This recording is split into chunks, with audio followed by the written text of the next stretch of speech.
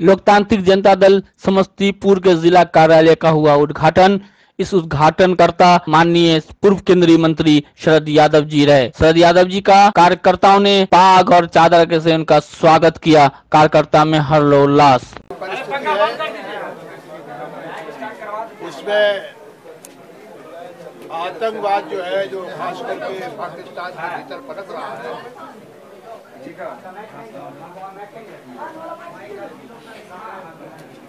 उसकी लड़ाई है।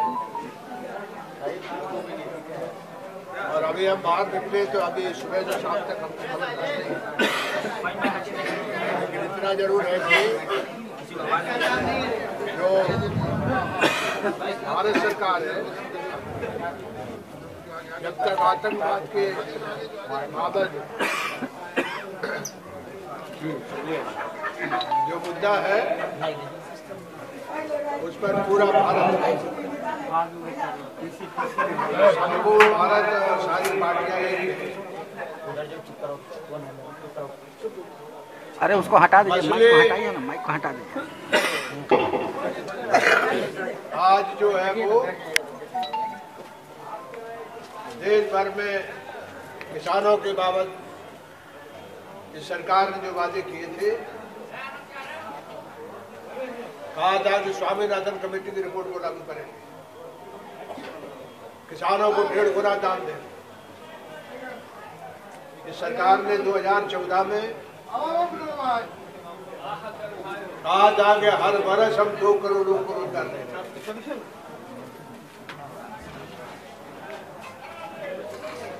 सबका साथ, सबका विकास की बात इन्होंने कही थी। भारत में और देश की जनता से जो वादे किए थे कहा था कि हम बाहर का जो पैसा है, वो बाहर लोगों ने जमा करके रखा, उसको लाएँगे और पंद्रह लाख हर आदमी के खाते में डालेंगे। सबका साथ, सबका विकास। चार, पाँच बरस हो गया सरकार को।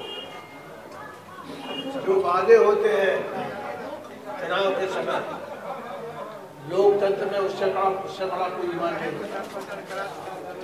आज बेकारी इतनी विकट समस्या है कि 10 करोड़ लोगों को रोज़गार मिलना चाहिए।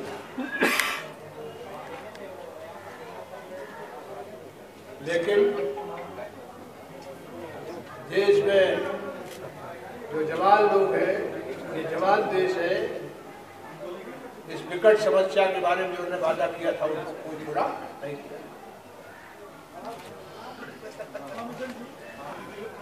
किसानों की हालत जो है वो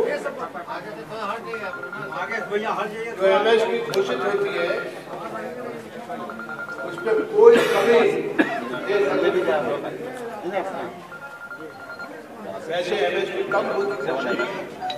सिर्फ़ पीडीएस के लिए पंजाब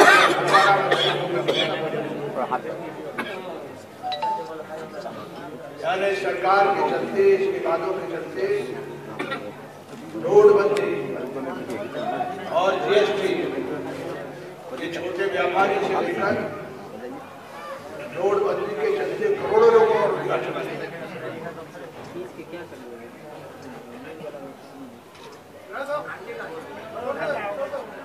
भर में। जो वादे हैं उन वादों को पूरा करो। पूरे देश भर में यही अभियान रहा सवाल आतंकवाद का तो पूरा देश एक है।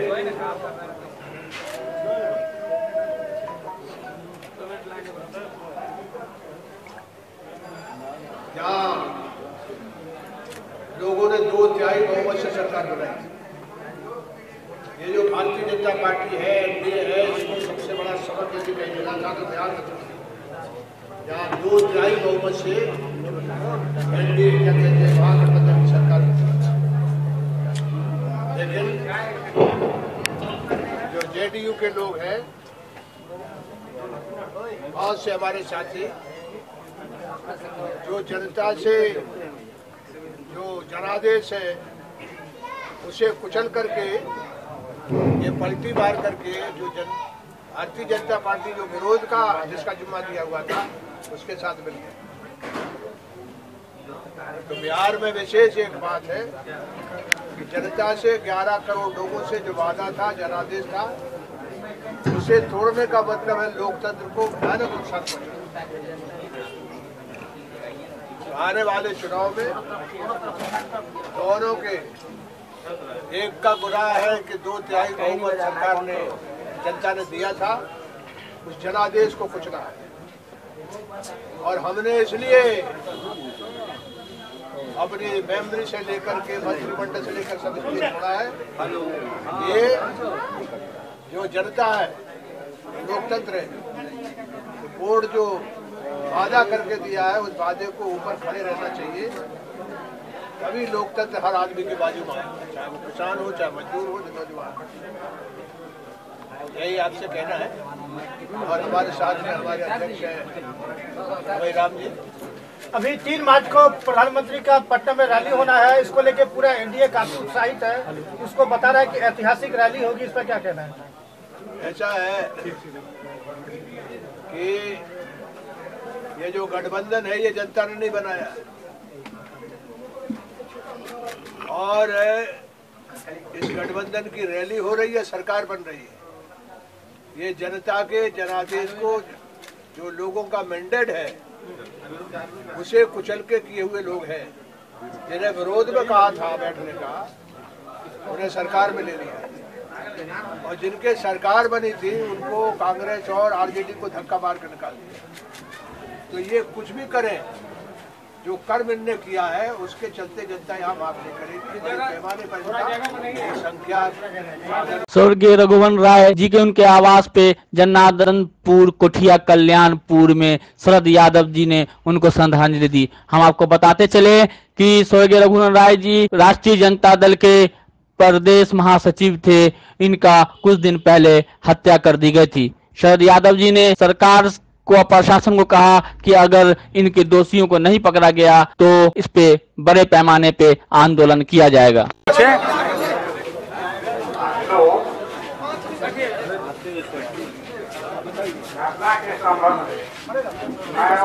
देखेंगे तब ना फ़ोटो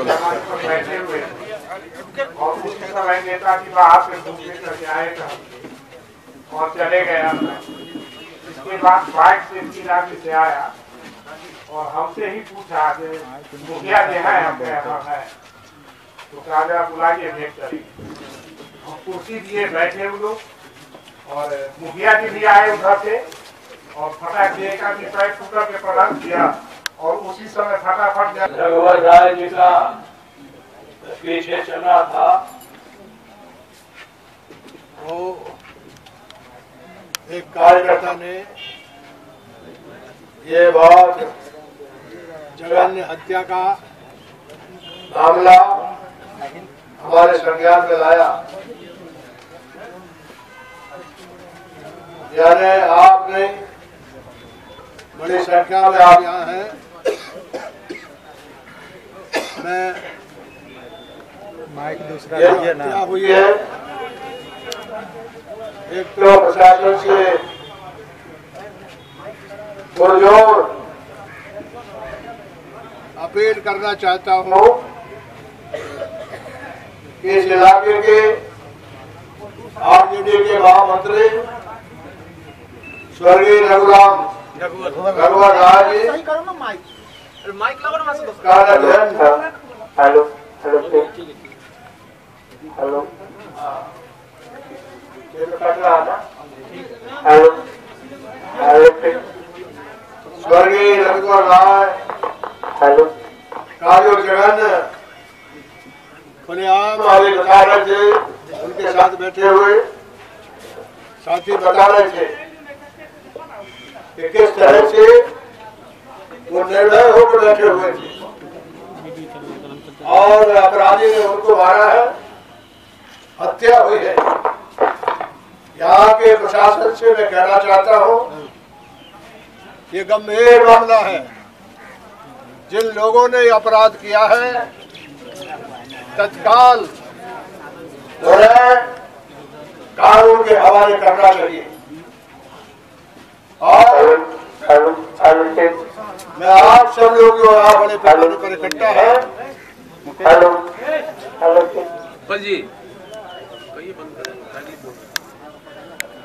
मैं आपके में बहुत अफसोस मुझको भी है। और आप यहाँ इकट्ठा है मुझे पीछे। दौड़ करके लोगों ने बताया कि रघुवर रघुवर राय यहाँ के जननेता थे। उनका हत्या हुआ है। और प्रशासन को अभी तक अपराधी जो नहीं पकड़े गए हैं, मैं उन्हें चेतावनी देता हूँ, यदि जल्दी गिरफ़्तार नहीं हुए तो बड़ी कार्रवाई पूरे इलाके में होगी। और अपराधियों को तत्काल नहीं पकड़ा।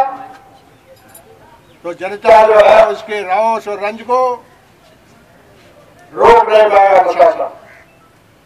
इसलिए मैं यहाँ आया हूँ और पूरी घटना का विवरण मुझको आप देंगे।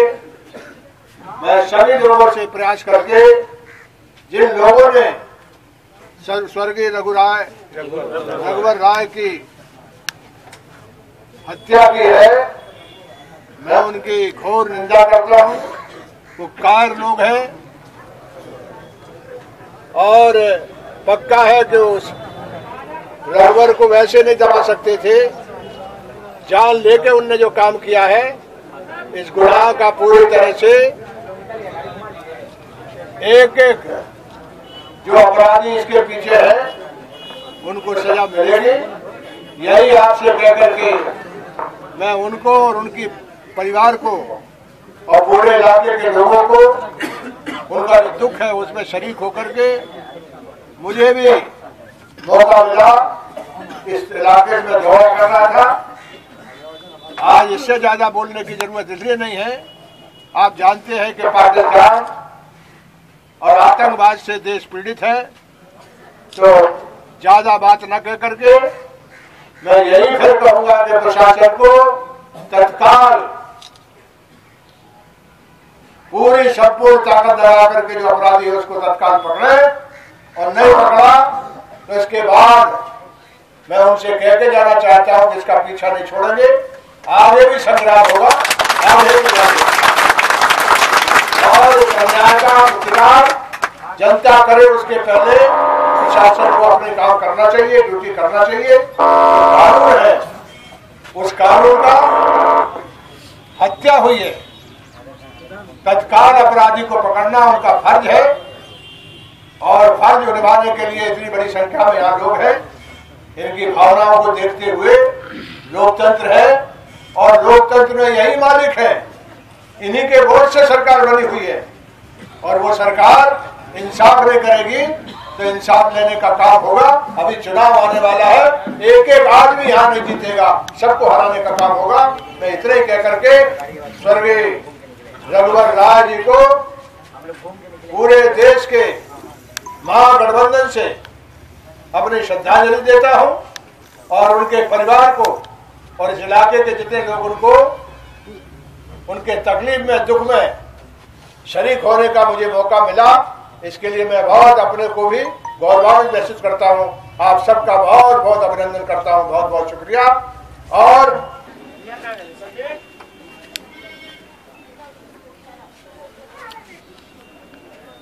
पूर्व केंद्रीय मंत्री, लोकतांत्रिक जनता दल के राष्ट्रीय संयोजक माननीय शरद यादव जी का हनुमान नगर प्रखंड के विशनपुर चौक पर पाक चादर और फूल माला से भय स्वागत किया गया।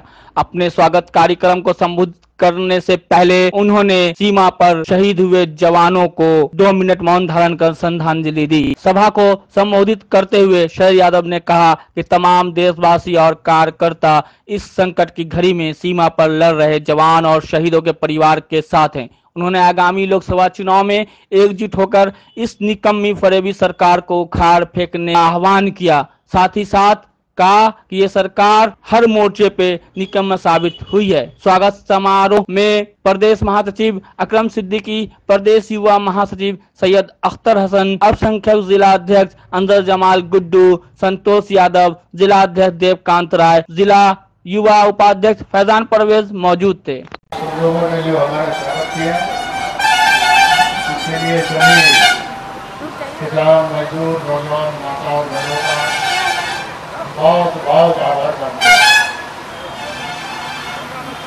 हमें जो मौका है, वो समा का नहीं है मैं इतना कहना चाहता हूँ कि लोकशाही, लोकतंत्र में जनता मालिक है। और कोई पार्टी हो, कोई सरकार हो, वो जो जनता से वादा पूरा, वादा करती है वो एक तरह का पाँच वर्ष के लिए करार है। आज सरकार ने वादे किए थे। किसान के बारे में नौजवान के बारे में। देश में सबका साथ, सबका विकास। बाहर का काला धन ला करके हर आदमी के अकाउंट में पंद्रह लाख रुपए देंगे।